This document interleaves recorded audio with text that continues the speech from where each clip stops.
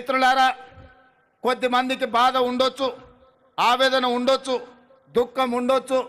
మా ఆలోచనలు మా కుటుంబ గుర్తింపు మా రాజకీయ పార్టీ మనుగడకు ఈ నిర్ణయాలు ప్రమాదకరంగా మారుతున్నాయని అనుకోవచ్చు. కానీ ఒక వ్యక్తి కోసమో ఒక కుటుంబం కోసమో ఒక రాజకీయ పార్టీ కోసమో తెలంగాణ రాష్ట్రం తెచ్చుకోలేదు. నాలుగు కోట్ల తెలంగాణ ప్రజలు ఏ స్వేచ్ఛ కోసం ఏ ప్రజాస్వామిక పరిపాలన కోసం ఏ బహుజనుల యొక్క ఆత్మ గౌరవాన్ని ప్రపంచానికి చాటి చెప్పడం కోసమే ఈ తెలంగాణ రాష్ట్రం తెచ్చుకున్నాం. అందుకే తెలంగాణ పరిపాలన గుండెకాయ లాంటి సచివాలయంలో ఈరోజు తెలంగాణ తల్లిని మనం ప్రతిష్ఠించుకోవడం జరిగింది. ఇది ఒక గొప్ప అవకాశం. ఉమ్మడి రాష్ట్రంలో ఆనాడు అవమానాలు ఎదురైనాయి. తెలంగాణ రాష్ట్రంలో నిర్లక్ష్యానికి లోనైనం.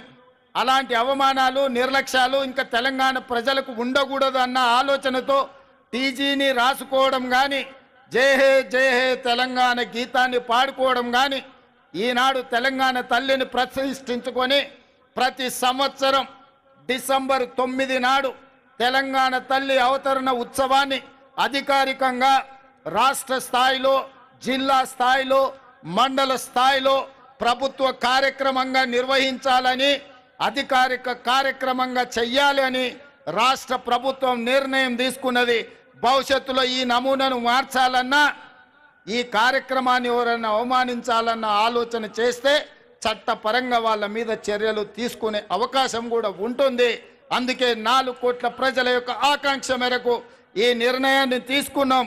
మీరందరూ కూడా పెద్ద ఎత్తున ఈరోజు మీరు ఈ కార్యక్రమాన్ని ఆశ ఆశీర్వదించాల్సిందిగా కోరుకుంటూ అదేవిధంగా రాజకీయ పార్టీ పరంగా ఈనాడు పార్టీ అధ్యక్షులు మహేష్ కుమార్ గౌడ్ గారు పిసిసి అధ్యక్షుడిగా ఈ కార్యక్రమంలో పాల్గొని పార్టీ కార్యక్రమాలను కూడా ముందుకు తీసుకెళ్ళాలని శాసన మండలి సభ్యులుగా వారు ఈ అంశాన్ని ప్రజల దగ్గరికి తీసుకు వెళ్ళాలని శ్రేణులను స్ఫూర్తిని నింపే విధంగా ముందుకు నడిపించాలని ఈ కార్యక్రమంలో వేలాదిగా పాల్గొని ఈ కార్యక్రమాన్ని విజయవంతం చేసిన మీకందరికీ మనస్ఫూర్తిగా ధన్యవాదాలు తెలియజేస్తూ మీ అందరి దగ్గర సెలవు తీసుకుంటున్న మిత్రులారా ధన్యవాదాలు.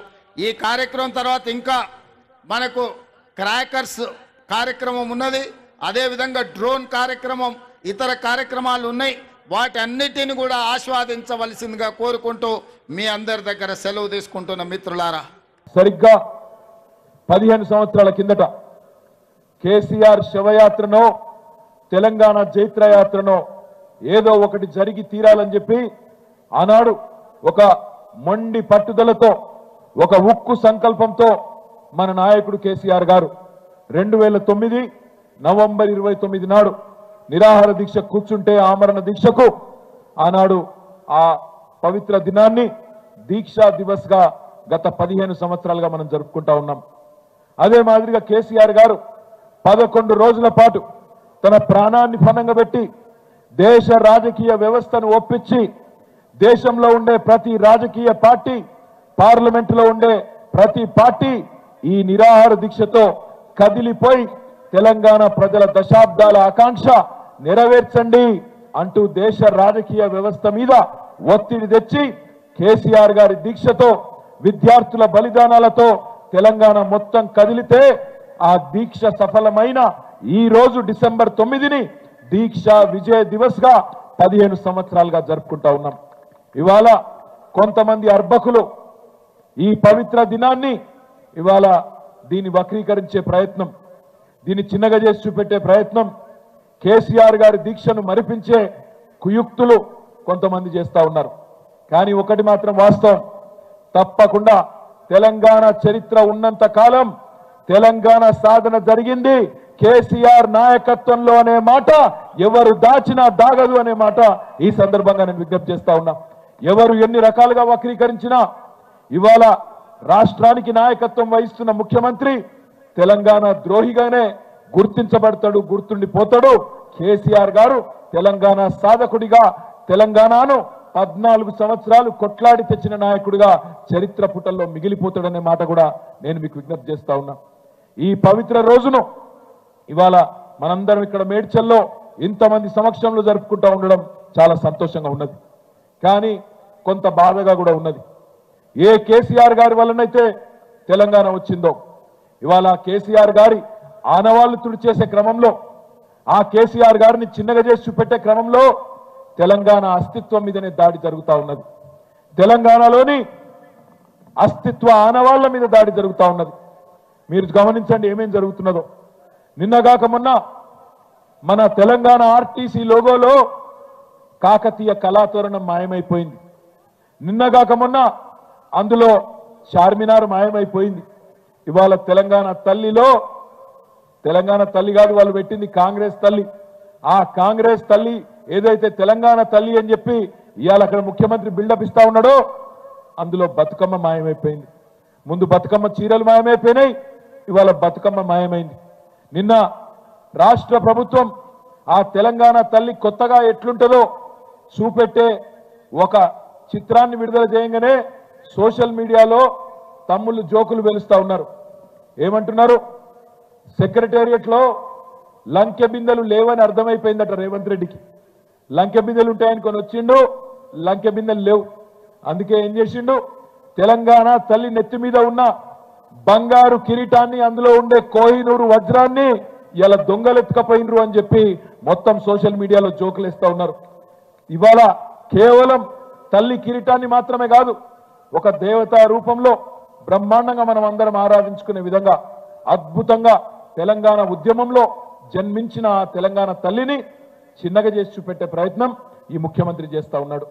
ఆనాడు స్వాతంత్ర పోరాటంలో భారత మాత ఎట్లయితే పుట్టిందో భారత మాత ఎట్లయితే జనించిందో అట్లనే పాల సముద్రం చిలికినప్పుడు లక్ష్మీదేవి ఎట్లయితే ఆవిర్భవించిందో ఉద్యమ కడలి మదనంలో తెలంగాణ తల్లి ఉద్భవించింది. తెలంగాణ తల్లి రూపాన్ని ఉమ్మడి ఉద్వేగంతో తెలంగాణ ఉద్యమం తీర్చిదిద్దింది. ఇది ఏ ఒక్కరు ఏ ఒక్క నాయకుడో ఒక రాజకీయ పార్టీకో సంబంధించిన రూపం కాదు.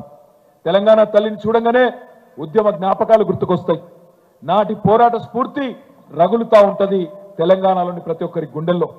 ఈ జాతి సమిష్టిగా సాధించిన ఈ పోరాటంలో సాంస్కృతిక పోరాటం కూడా మళ్ళొక్కసారి గుర్తొస్తుంది.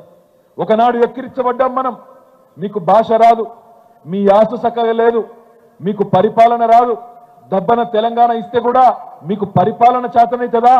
మీకు అన్నం దినుడు నేర్పిందే మేము అంటూ ఎక్కిరించిన వాళ్ళ నోరులు మూతపడే విధంగా పదేళ్ళలోనే తెలంగాణను భారతదేశంలో అగ్రభాగాన నిలబెట్టింది కేసీఆర్ నాయకత్వం అనే మాట మళ్ళొక్కసారి నేను మీకు గుర్తు చేస్తా ఉన్నా. మన భాషను ఎక్కిరించి సినిమాలలో జోకర్లకు పెట్టి మన ఆట పాటల్ని ఈసడించి ఈ బోనాలేంది ఈ మైసమ్మేంది ఈ పెద్దమ్మేంది ఈ ఎల్లమ్మేంది అని మన గ్రామ దేవతల్ని ఎక్కిరించిన వాళ్ళ నోర్లు మూతలు పడే విధంగా సాంస్కృతిక ఆధిపత్యానికి చెర తెరబెట్టే విధంగా తెరదించే విధంగా ఎట్లా అయితే ఉద్యమంలో ఎదిరించినామో మళ్ళొక్కసారి తెలంగాణ తల్లిని చూడంగానే యాదికొస్తుంది ఈ మహత్తర పోరాటంలో పుట్టిన తెలంగాణ జనని తెలంగాణ తల్లి. మనం భూమిని అమ్మ అంటాం ధరణి అంటాం అవని అంటాం భూమాత అంటాం తల్లి అంటాం ధరిత్రి అంటాం. అట్లాగే దేశాన్ని కూడా తల్లిగానే కొలుచుకుంటాం భారత మాత అంటాం.